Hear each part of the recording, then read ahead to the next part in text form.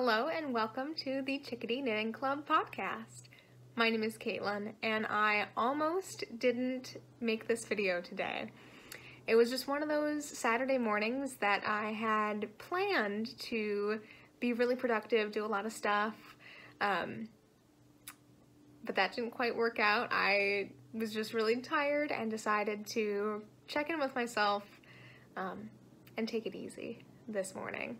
But all of a sudden, um, this afternoon, I'm kind of getting a second wind, and I'm really glad that I um, that I'm feeling up to uh, filming something because not only uh, did I actually plan to make something today, so it feels um, quite satisfying to check that off my to-do list, but also because I um, picked this outfit out especially to have in my podcast. I'm wearing the um, the thrifted turtleneck that I wore in the last uh, video. I've essentially just been living in this turtleneck. It's one of my favorites. The earrings are also thrifted. They are little lilies of the valley, I believe. This sweatshirt is uh, from Harvard from when my sister and I took a train to Boston over spring break um, and just explored the city and got to spend some time at Harvard and I knew that I wanted to get a sweatshirt for the sake of getting to say that we went to Harvard. but my favorite part of this outfit is the socks, and I'm going to show them to you. Um, so from the bottom, they seem fairly uh, unassuming, just your regular standard socks, or are they? Because they also have um, an alpaca drinking a nice, cozy, warm little drink there.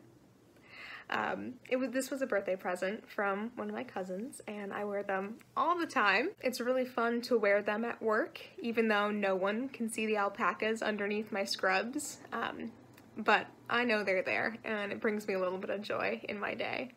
My fieldwork rotation is going very well. The last time I'd filmed, I had finished up about two weeks of my rotation, and now I only have two weeks left, which is so wild to me. Everyone told me that time would fly. I even told myself, like, all right, you know, this is just gonna zip on by. Um, but now that it's almost gone, I can hardly believe it. I've had such a wonderful time at my placement.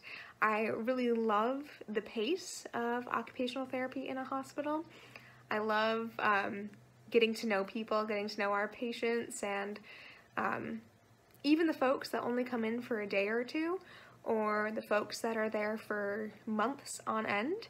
It's really fun to get to know them, get to know uh, who they are, what they enjoy doing, um, what's meaningful to them, and being able to incorporate that in their healing process um, wherever they are on that journey. I also love getting to be creative and think on my feet every single day, and how occupational therapy doesn't just address the nuts and bolts of uh, what helps people do what they do, but it really focuses on the whole person. And I really love that. I really love doing what I do. When I first moved into this little tiny town, I joined the prayer shawl ministry at a church just down the street from me. And it was the perfect timing because in a matter of weeks, they were holding their sort of annual um, shawl dedication service. And so I had the chance to um, get some yarn from the ministry there um, and whip up a prayer shawl as fast as I could. And they were so generous to offer to give me free yarn so that I could make a shawl to contribute to their ministry. And it really was um, about two and a half weeks of just furious knitting. It was one of those projects where if I was sitting, I was knitting, which was really fun because I would bring uh, my project in to work with me to do over my lunch break, and it started a lot of wonderful conversations, including teaching my coworkers what yarn bombing is, which was really fun to watch them discover that for the first time. I don't have the finished product with me because like I mentioned, um, I donated it to the ministry, um, just in time for their shawl dedication service. And there's a good chance that it already is en route to uh, someone who could use a little bit of encouragement and some warmth. but I did take a video of it. And let me tell you, when I first saw the height comparison, it kind of blew me away. The yarn is Puzzle Bulky Yarn by Premier Yarns in the color Jigsaw. And the pattern I used was the Feather and Fan Shawl pattern by Lion Brand Yarn. And even after that gigantic shawl that I just showed you, I still have yarn left over. That's just how much yarn the church gave me. So I'm putting it to good use by knitting um, just a simple scarf with it. Um, you know, garter stitch, classic big long rectangle. And what I hope to do with this, um, as the weather gets colder here, um, I hope to have it done before I move out in December. And um, I plan on either tying it around a tree or putting it on a park bench um, and including a little note attached to the scarf um, that says something along the lines of, I'm not lost. If you are in need of warm winter clothes, please take me with you. Just as a way to do some good with um, the yarn that was gifted to me and also to support the people who are, you know, who will keep living here after I've left.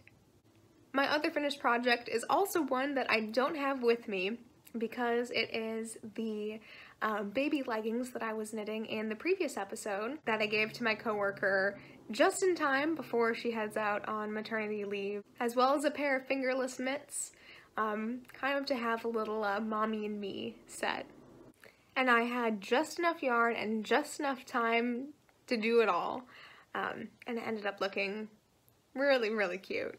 But now I've got a little ball um, of the yarn that I used for that project, and it's not really enough to make like a whole garment, and so I'm tucking it to the side um, with my other scrap yarn, and hopefully in the coming new year, um, or some year after that, I will um, put it to some good use in a little uh, scrap yarn project of sorts. The work in progress that is currently occupying most of my knitting time is a pair of fingerless mitts for myself.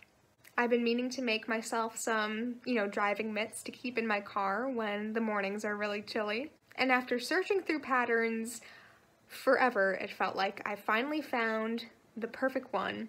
It's called The Last Day's Mittens by Paula Drollard of Autumn Poppy Designs.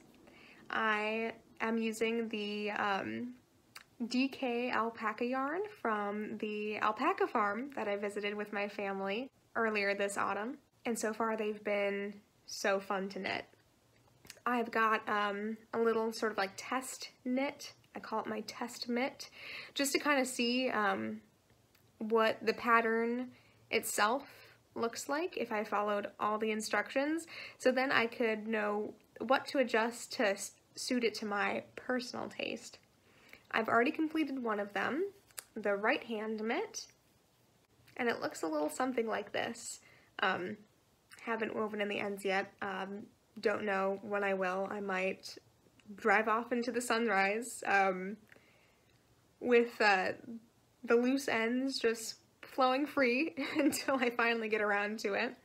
Um, but uh, I really didn't change all that much um, besides uh, the border that I cast on and cast off with, um, just because I wanted to give it a little more of a rustic feel since I knew that this yarn um, was going to give it a pretty rustic look, so I wanted to lean into that.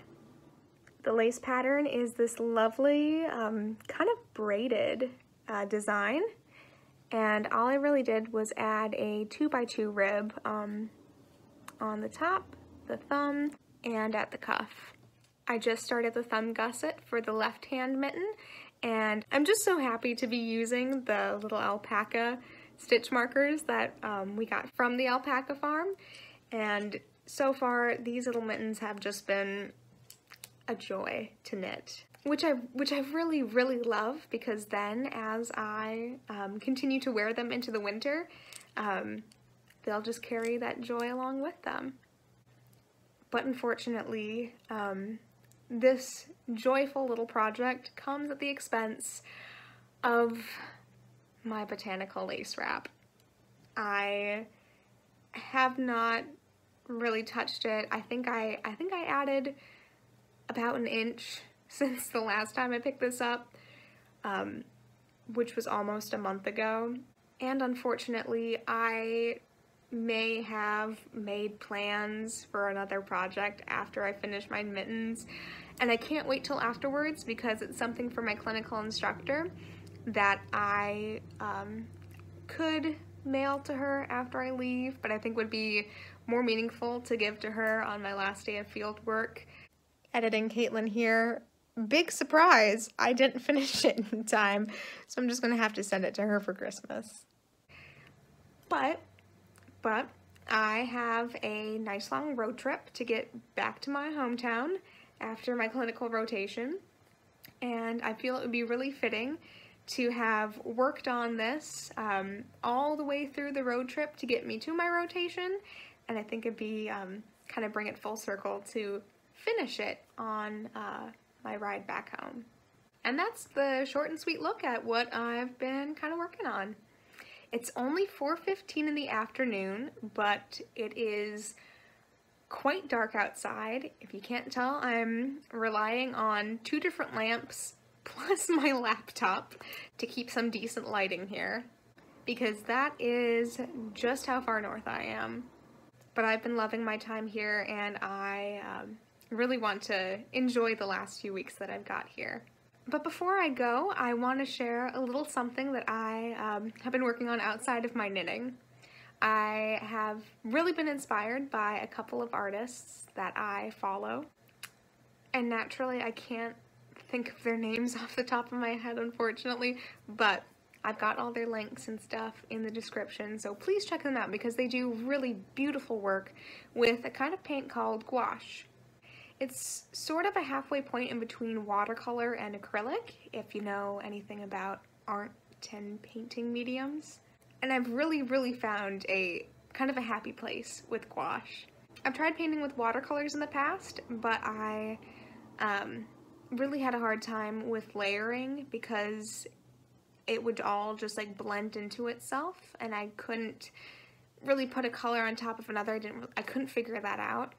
Um, but when it came to trying acrylics being thicker and easier to layer, I missed the blendability of watercolors.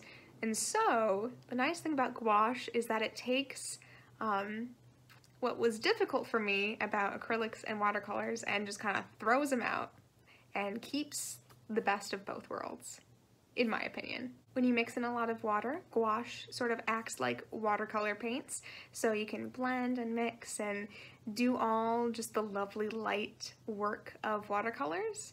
But you can also use them kind of as a thicker acrylic for that layering and deep color that I really like a few weeks ago, I sort of went to chase the last of the autumn colors um, up to uh, the very, or one of the northernmost points of the state that I'm living in, which really wasn't that far of a road trip because I am pretty far north. And while I was driving and listening to a podcast about the sound of music, I thought that just the wilderness and the scenery around me was so beautiful and I made a bunch of mental notes um, so that the next time I broke out my gouache paints, I'd be able to capture what I saw to the best of my um, beginner level abilities.